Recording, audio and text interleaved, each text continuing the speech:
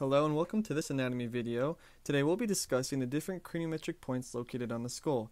This video is made specifically for the advanced anatomy students, so if you're a student that's in the general gross anatomy class, go ahead and leave this video because you won't be tested on any of these terms. Um, go ahead and study the other videos that are discussing different landmarks found in different body systems. However, if you're in advanced anatomy, this is going to be an important video for you and a hopefully a helpful study tool as you learn the different craniometric points. So what I'm going to do in these videos is that I'm going to start by going over all the craniometric points found on the mid-sagittal plane because there's quite a few of them. After I identify the ones on the mid-sagittal plane, I'll go ahead and identify all the remaining um, craniometric points. So, starting on the inferior most part of the skull, here on the mandible, we have our first craniometric point, which is called the gnathion. Again, the most inferior point on the mid-sagittal plane is called the gnathion.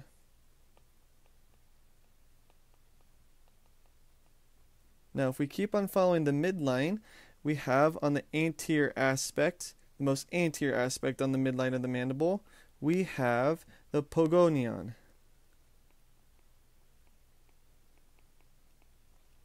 Now, if we continue going superior, underneath these two inferior incisor teeth, central incisor teeth, we have our next craniometric point. This craniometric point is called the infradentale.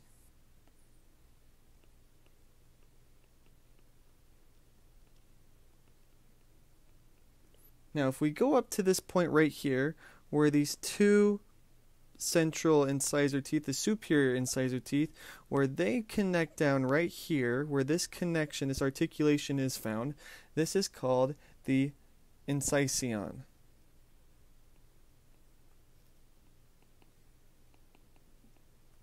Alright, let's go ahead and zoom this image out just a little bit more.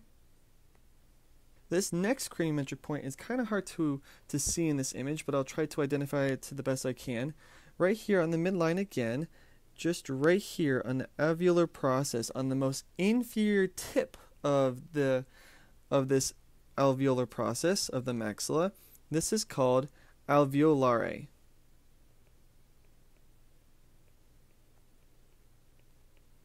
And I believe that's how it's pronounced, alveolare. Now, just barely superior to the alveolare, we have our next craniometric point.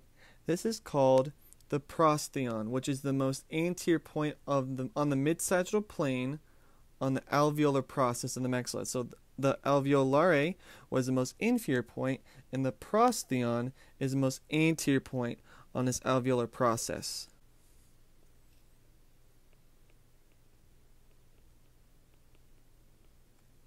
Now, right here, we have a landmark that we haven't learned yet, and this is called the anterior nasal spine, okay? This is called the anterior nasal spine of the maxilla, which is not a name of the craniometric point, but on the inferiormost portion of this anterior nasal spine of the maxilla. This is going to be called the nasospinale.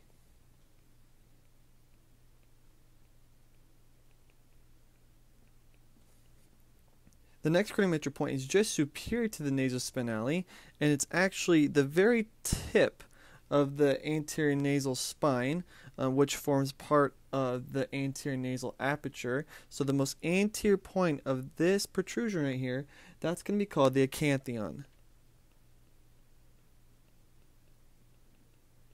The next craniometric point is this most superior and anterior point on the anterior nasal aperture. So this most anterior superior point of the anterior, anterior nasal aperture, this is called the rhinion.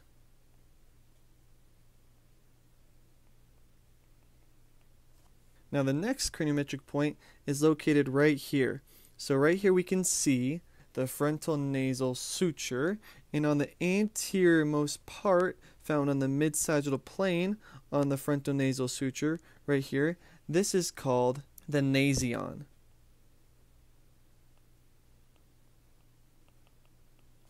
Okay, let me go ahead now and, and zoom back our image a little bit more.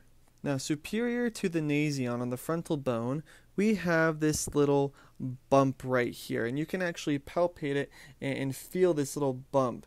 Now, this anterior most point on the frontal bone on the mid sagittal plane, This is called the glabella.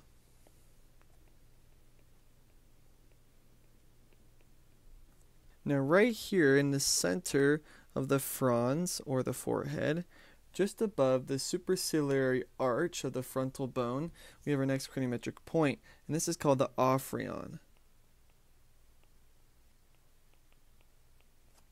Awesome. Now we're going to go ahead and change images so we can identify more craniometric points found on the mid-sagittal plane. So now in this image we see a lateral view of the skull and the next craniometric point is located at the intersection between the coronal suture and the sagittal suture. So located right here. This craniometric point is called the bregma.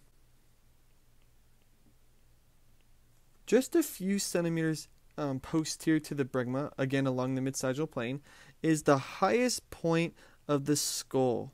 This is called the vertex.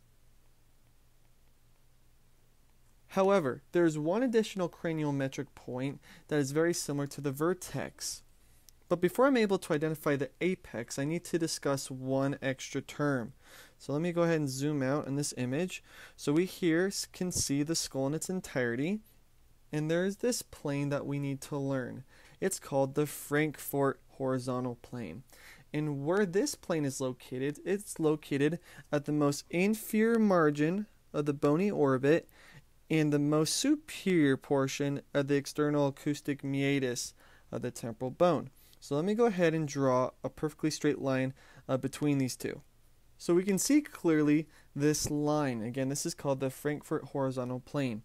If we were able to tilt this image and make this plane at a perfect 90 degree angle, then the next highest point on the skull would be located probably just right around here.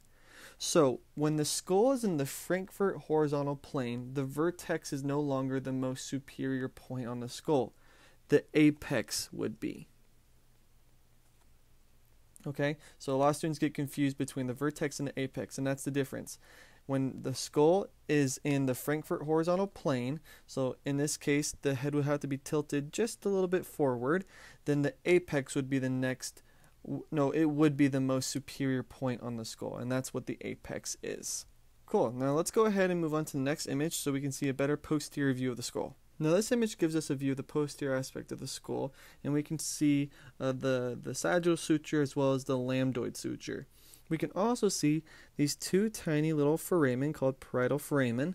Now down the sagittal suture and in between the parietal foramina is our next craniometric point and it's called the obelion.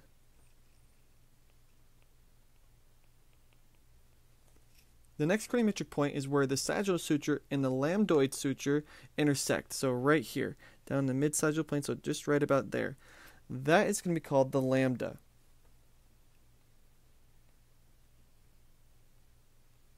Now, if we go inferior to the lambda and find the most posterior point of the skull, which will probably be found right around here, again down the mid-sagittal plane, this craniometric point is called the opisthocranion.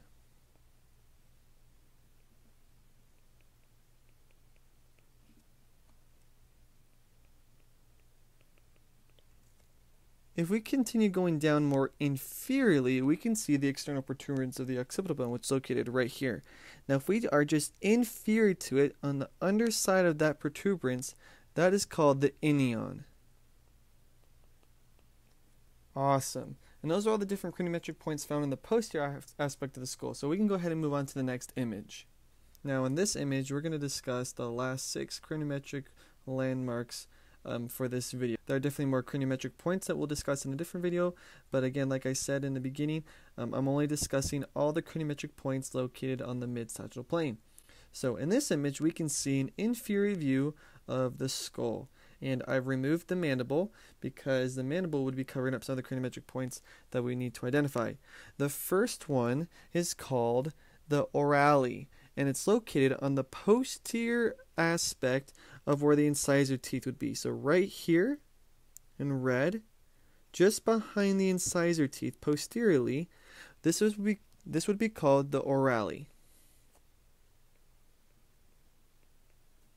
The next craniometric point is located on the palatine bone. It is located on the midline point between the posterior alveolar ridges found on the bony palate. Now that might sound confusing, so I'm going to go ahead and draw a line again to demonstrate where this um, where this line would intersect. So in blue, I've draw I have drawn a line um, where the posterior aspect of the alveolar processes of these uh, molar teeth would be. Now again, this is a craniometric point found in the midline. So right here is where the alveolon would be located.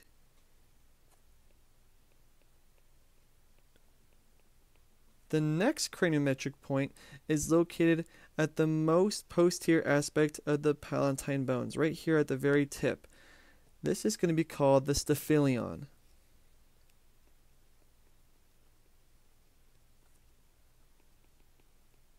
Now if we go ahead and zoom up to the occipital bone, we have three craniometric points um, that we need to learn.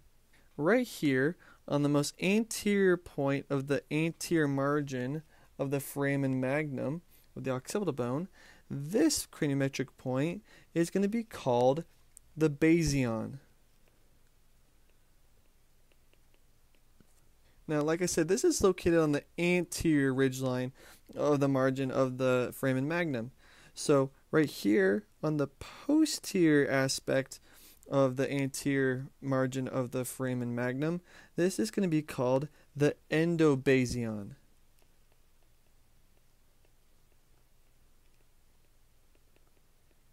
And the last craniometric point of this video is located on the midline point on the posterior margin the foramen magnum. So just right here.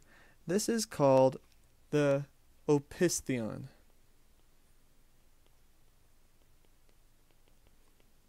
Now don't get this term confused with, with the opisthocranion, which is located on the posterior aspect of the occipital bone, the most posterior aspect on the occipital bone, where this is the most posterior aspect of the posterior margin of the foramen magnum. Awesome.